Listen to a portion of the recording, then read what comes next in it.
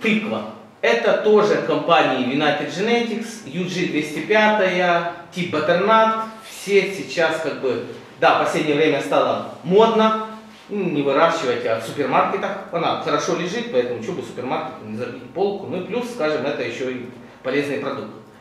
Вот, э, поэтому хотят супермаркеты небольшую тыкву, полтора-два килограмма.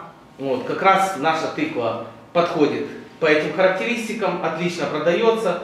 Э, Руслан, э, ну это Кириченко, скажем, другая фамилия, Заря Каховщины, отлично выращивает уже несколько год, на ТБ работает, в принципе подходит по всем стандартам.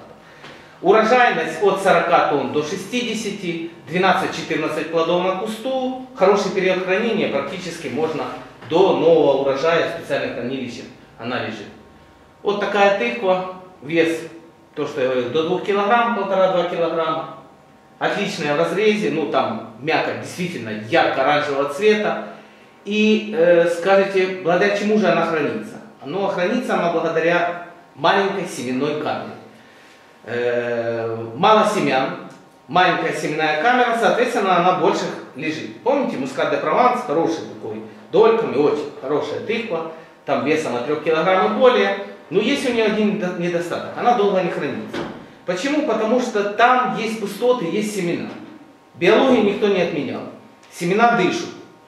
Они выделяют в процессе дыхания газы, которые накопляются, и происходит оттуда гниение внутри. То есть, чем больше семян, больше, соответственно, газов и как бы больше, меньше период хранения. Здесь семян немного, маленькая семенная камера, плюс благодаря этому она и хорошо хранится.